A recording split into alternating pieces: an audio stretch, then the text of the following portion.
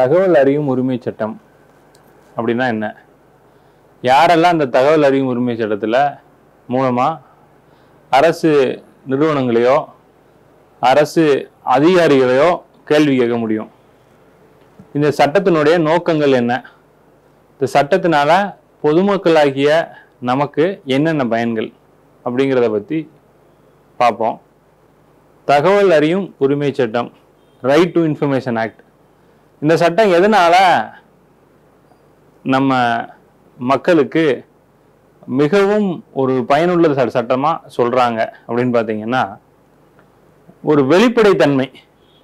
இது வரைக்கும் நம்ம நிர்வாகம் அப்படின்னு பார்த்தீங்கன்னா நிர்வாகம் சார்ந்த விஷயத்தில் பொதுமக்களாகிய நாம யாருமே தலையிட்டு இருக்க மாட்டோம். நிர்வாகம் அப்படிங்கிறது அதுக்குன்னு இருக்கக்கூடிய எக்ஸிக்யூட்டிவ்ஸ் அப்படின்னு சொல்லக்கூடிய ஐஏஎஸ் ஐபிஎஸ் ஆஃபீஸர்ஸ் அவங்க எல்லாரும் நம்மளுடைய மாண்புமிகு ஜனாதிபதியின் கீழே வரக்கூடிய அவங்க எல்லாரும் தான் அரசு நிர்வாகத்தை செயல்படுத்திட்டு இருந்தாங்க. அதே மாதிரி லெஜிஸ்லேச்சர் அதாவது சட்டமன்றங்கள் பாராளுமன்றங்கள் வந்து சட்டங்களை ஏற்றிட்டு இருந்தாங்க. ஸோ சட்டங்களை ஏற்றக்கூடிய வேலை யாரை சார்ந்தது என்றால் மக்களாகிய நம்மிடம் ஓட்டு வாங்கி பெரும்பான்மையை நிரூபித்து எலெக்ஷனில் வெற்றி பெற்ற நபர்கள் மட்டும்தான் சட்டமன்றத்திலையும் சரி பாராளுமன்றத்திலும் சரி உறுப்பினராக இருக்காங்க. அவங்க எல்லாரும் சேர்ந்து சட்டங்களை இயற்றுறாங்க. நீதிமன்றங்கள் நீதி பரிபாலனம் ஒழுங்கான முறையில் சரியான முறையில் மக்களை சென்றடைகிறதா அப்படிங்கிற விஷயத்த நீதிமன்றங்கள் பார்த்துக்கிட்டு இருக்கு. ஸோ இதில் இந்த எக்ஸிக்யூட்டிவ்ஸ்ன்னு நம்ம சொல்கிறோம் இல்லைங்களா? அதாவது இந்த ஆட்சியாளர்கள். ஆட்சியாளர்கள் ஒழுங்கான முறையில் கவர்மெண்டோட ஸ்கீம்ஸு அரசாங்கத்துடைய நடவடிக்கைகள் எப்படி இருக்கு? அப்படிங்கிற விஷயம் வந்து பொதுமக்களுக்கு ரொம்ப வெளிப்படைத்தன்மையா தெரியணும். அப்படிங்கிறது தான் இந்த தகவல் அறியும் உரிமை சட்டத்தினுடைய நோக்கமே. இந்த சட்டம் எப்படி பொதுமக்களாகிய நமக்கு பயனுள்ளதா இருக்கும் அப்படின்னா பொதுமக்களாக நாம தான் ஜனநாயகம் அப்படிங்கிற இந்த கோட்பாடின் அடிப்படையில் நாம தான் மன்னர்கள். எப்படி அப்படின்னா எல்லாரும் இந்நாட்டு மன்னர்கள் அப்படிங்கிறதா அடிப்படை ஜனநாயகத்தினுடைய ஒரு வரி கோட்பாடு. எல்லாரும் இந்நாட்டு மன்னர்கள் எப்படி ஆக முடியும்னா நாம தான் ஓட்டு போடுறோம். வாக்குரிமையை வைத்து தான் வெற்றி தோல்வியை நிரூபித்து அவர்களிடம் தான் நம்ம ஆட்சியை வந்து ஒப்படைக்கிறோம். ஆனால் இது வந்து ஒரு ஐந்து ஆண்டுகளுக்கு ஒரு முறை தான் நம்மளால செய்ய முடியும். ஒரு ரெண்டு வருஷம் முடிஞ்ச உடனேயோ ஆறு மாதம் முடிஞ்ச உடனேயோ நான் ஓட்டு போட்டதுக்கு மேலே நம்பிக்கை இல்லை எனக்கு திருப்பி அவங்க வரணும்னு நம்மளால சொல்ல முடியாது. ஸோ ஐந்து ஆண்டுகளுக்கு ஒரு முறை தான் நமக்கு வந்து இந்த ஒரு வாய்ப்பு இந்த ஒரு அதிகாரம் நமக்கு கொடுக்கப்பட்டிருக்கிறது. ஒரு சட்டமன்றமோ பாராளுமன்றமோ பதவியேற்ற பின் ஐந்து ஆண்டுகளுக்கு முன்பாக மக்களாகிய நாம அவங்கள திருப்பி அழைக்கிறதுக்கான உரிமை கிடையாது. அப்போ எப்படி வந்து அரசாங்கம் வந்து இயந்திரம் முழுமையாக செயல்படுதா இல்லையான்னு மக்களாகிய நாம தெரிஞ்சுக்கணும் அப்படின்னு பார்த்தீங்கன்னா அதுக்கு தான் இந்த தகவல் அறியும் உரிமை சட்டம்ங்கிறது நமக்கு ஒரு மிகப்பெரிய லெவலில் உதவியாக இருக்கும். நாம அரசாங்கத்தினுடைய ஒவ்வொரு விஷயத்தையும் பொதுமக்களாகிய நமக்காக தான் அரசாங்கத்தில் இருக்கக்கூடிய ஆட்சியாளர்கள் செயல்பட்டு இருக்காங்க அப்படியாப்பட்ட ஆட்சியாளர்கள் ஒவ்வொரு திட்டங்களாகட்டும் ஒவ்வொரு ம- மற்ற ம- மற்ற மாதிரியான நலத்திட்டங்களாகட்டும் அவங்க செயல்படுத்தும் போது அது முறையாக அடிப்படை மக்களுக்கு விளிம்பு மக்களுக்கு சென்று சேர்கிறதா இல்லையா? இதை யார் பார்க்கறது? இதை யார் கேட்கறது அப்படின்னா ஆட்சியாளர்கள் இருக்கிறாங்க. ஆட்சியாளர்களுக்கு மேலே வேற யாருன்னா நீதிமன்றத்தில் கேள்வி கேட்கலாம். நீதிமன்றத்தில் கேள்வி கேட்கறதுக்கான பவர் வந்து அடிப்படையாக மக்கள் எல்லாத்துக்குமே இருக்கு. நீதிமன்றத்திலயும் இருக்கு. அப்போ நாம நீதிமன்றத்தில் கேள்வி கேட்கலாம். அப்புறம் எதுக்கு இந்த தகவல் அறிவு உரிமை சட்டம்? அதாவது நாம கேள்வி கேட்கணும்னா தகவலை அறிந்த பின்பு தான் நம்மால் கேள்விகளை கேட்க முடியும்.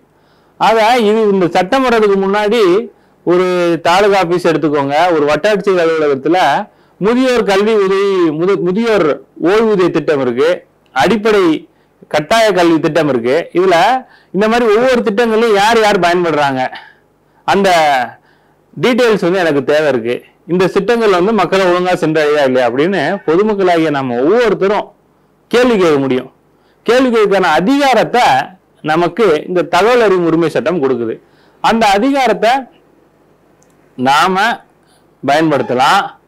அப்படி பயன்படுத்தும் போது அவங்களுக்கும் ஒரு கடமை இருக்கு. யாருக்கு கடமை அப்படின்னு பாத்தீங்கன்னா ஆட்சியாளர்களுக்கும் கடமை இருக்கு. இந்த தகவல் உரிமை சட்டத்தின்படி பப்ளிக் இன்ஃபர்மேஷன் ஆபீசர் அதாவது பொது தகவல் அதிகாரி அப்படின்னு ஒவ்வொரு நிறுவனத்திலையும் ஒவ்வொரு அரசு அலுவலகத்திலையும் ஒவ்வொரு நபரை பொது தகவல் அதிகாரி அப்படின்னு நியமிச்சிருக்கிறாங்க. அதாவது நியமிச்சா அடிஷனல் போஸ்ட் கிடையாது. இருக்கிற ஒருத்தரே அந்த போஸ்டர் வந்து இன்சார்ஜா அவர் கொடுத்துருப்பாங்க அதாவது அந்த அந்த நிறுவனத்தினுடைய டாப் மோஸ்ட் பொசிஷன்ல அந்த அரசு அலுவலகத்துள்ள டாப் மோஸ்ட் பொசிஷன்ல இருக்கிறவரை பொது தகவல் அதிகாரி அப்படின்னு அவரை அவருக்கு ஒரு பவர்ஸ் கொடுத்துருப்பாங்க. ஒரு கடமையை ஒப்படைச்சிருப்பாங்க. அதன் மூலமா அவர்கிட்ட நம்ம என்னென்ன தகவல் தேவையோ அது அத்தனையும் நம்ம கேட்கணும் கேட்க முடியும். அதுக்கு அவங்க பதில் சொல்லி தான் ஆகணும். அந்த பதிலில் வந்து நமக்கு சில இத தப்பான செயல்பாடுகள் வந்து நடந்திருக்கு அப்படின்னு நம்ம அறிந்தால் உடனடியாக அதன் மூலமாக நம்ம வந்து நீதிமன்றத்தில் கேள்வி கேட்க முடியும். ஸோ இந்த நமக்கு வந்து அடிப்படையான விஷயங்கள் ஆட்சியாளர்கள் நம்ம திட்டங்களை ஒழுங்காக மக்களை சென்றடைதா இல்லை ஆட்சியாளர்கள் எவ்வாறு ஆட்சி செய்கிறார்கள் என்பதை மக்களாகிய நமக்கு வெளிப்படைத்தன்மையோட அறியணுங்கிறது தான் தகவல் அறிவு உரிமை சட்டம்ங்கிறது. இந்த சட்டத்தின் மூலமாக எப்படி நம்ம கேள்வி கேட்கலாம்? அப்படின்னா ஒரு பேப்பர்ல நம்ம மனு எழுதி போடலாம். போடும்போது இந்த தகவலுக்கான இந்த தகவல் உரிமை சட்டத்தின்படி ஒரு தகவலை அறிகிறதுக்கான கட்டணமா குறைந்தபட்ட கட்டணமா ரூபாய் பத்து நம்ம கட்டணமா செலுத்தணும். அதை எப்படி செலுத்தணும்னு பாத்தீங்கன்னா கோட் ஃபீஸ் ஸ்டாம்ப்னு சொல்லக்கூடிய பத்து ரூபாய்க்கான அஞ்சல் அஞ்சல் ஸ்டாம்ப் போஸ்டல் ஸ்டாம்ப் மாதிரி தனியா கோட் ஃபீஸ் ஸ்டாம்ப்னு ஒன்று இருக்கு. அந்த ஸ்டாம்பை நீங்க ஓட்டி ஒட்டி அதன் மூலமா ஒரு லெட்டர் அனுப்பிச்சு எனக்கு இன்னும் தகவல்லாம் தேவை. அதாவது இந்த திட்டங்கள் மக்களுக்கு சென்றதா யாருக்கெல்லாம் சென்றிருக்கு யாருக்கு சேரல இந்த திட்டத்தில் உறுப்பினராக சேரணும்னா என்ன மாதிரியான என்ன மாதிரியான விதிமுறைகள் நீங்கள் கடைபிடிக்கிறீங்க? இந்த மாதிரி திட்டத்தை மக்களை எப்போ நீங்கள் சேர்த்துக்கிறீங்க? இந்த மாதிரியான கேள்விகள் எல்லாம் கேட்டு நீங்கள் அனுப்பிச்சீங்கன்னா அவர் பார்த்தீங்கன்னா முப்பது நாளைக்குள்ள உங்களுக்கு பதில் கொடுக்கணும். அப்படி அவர் பதில் கொடுக்க தவறினால் நீங்க என்ன பண்ணலாம்னா அவருக்கு மேல மேல்முறையீட்டு அதிகாரின்னு ஒருத்தர் இருப்பாரு அவருக்கு மேல்முறையீடு பண்ணலாம். அதற்கு மேலேயும் ஸ்டேட் இன்ஃபர்மேஷன் கமிஷனர் அப்படின்னு ஸ்டேட் இன்ஃபர்மேஷன் கமிஷனே தனியாக அங்கே நடைபெற்று இருக்கு அங்க நீங்க வந்து முறையிட்டு நீங்க வாங்கலாம். நிறைய பேர் ஸ்டேட் இன்ஃபர்மேஷன் கமிஷன்ல எனக்கு கேட்ட தகவல் வந்து அந்த அதிகாரி பொது தகவல் கொடுக்கலன்னு சொல்லி அது மேல வழக்கு போட்டதுல ஸ்டேட் இன்ஃபர்மேஷன் கமிஷனே பாத்தீங்கன்னா அந்த சம்பந்தப்பட்ட அதிகாரிக்கு மேல ஃபைன் போட்டு அவருடைய சம்பள தொகையிலிருந்து பிடித்தம் செய்து நஷ்டஈடு பொதுமக்கள் பொதுமக்களாகிய நமக்கு இன்ஃபர்மேஷன் கேட்குறவங்களுக்கு பெட்டிஷனருக்கு வந்து நிறைய விஷயத்தில் வழங்கியிருக்காங்க. ஸோ இந்த சட்டம் வந்து நமக்கு ஒரு மிகப்பெரிய ஒரு பயனுள்ள ஒரு சட்டம் அப்படின்னு நம்ம சொல்லலாம். அரச நிறுவனங்கள்லையும் சரி அரசு அலுவலகங்களையும் சரி என்னென்ன விஷயங்கள் நடக்குது அப்படிங்கிறத நம்ம தெரிஞ்சுக்கலாம். எதன் மேலே சந்தேகம் இருக்கோ அதை பற்றி ஃபுல் டீட்டெயில்ஸ் ஃபுல் ஹிஸ்ட்ரி நம்ம கேட்கலாம் நம்ம கேட்கறதுக்கு உரிமை இருக்குது சொல்கிறதுக்கு அவர்களுக்கு ஒரு கடமை இருக்குது நன்றி.